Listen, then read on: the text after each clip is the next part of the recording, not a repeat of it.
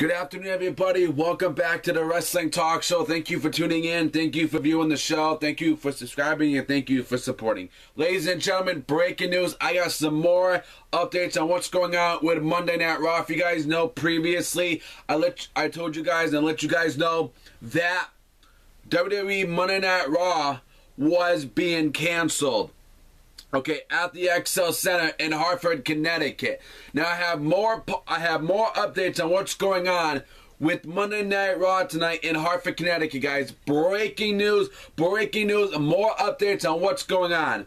Ladies and gentlemen, I received a tweet from WWE, and they noted that even a blizzard can't stop WWE. Hashtag Raw will it air tonight at USA Network at 8 o'clock from WWE's headquarters. So there you go, guys, ladies and gentlemen. There's your update on what's going on with Monday Night Raw being in Hartford, Connecticut tonight, ladies and gentlemen, at 8 o'clock. Maybe they're going to air it in an empty arena because the Raw was canceled. So, I don't know. I don't know, guys. They don't want nobody on the roads. I don't know. It's, they're probably just going to wrestle an empty show so they can keep the show going, you know? I don't know, guys.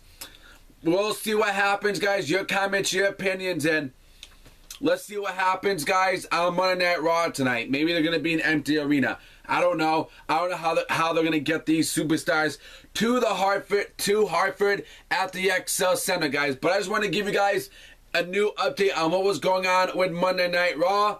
I gave you guys a tweet, and I'm going to show it to you guys. There's the tweet. There you go from WWE. There's the tweet, guys. And yeah, guys, so I told you guys if there was more updates, I would bring it to you guys, and I did. I brought it to you guys. So keep subscribing, guys. Keep supporting the show. Click on the logo in the corner, click on it, and you're going to be officially subscribed to the Wrestling Talk Show. So until then, ladies and gentlemen, I'll see you later. Subscribe.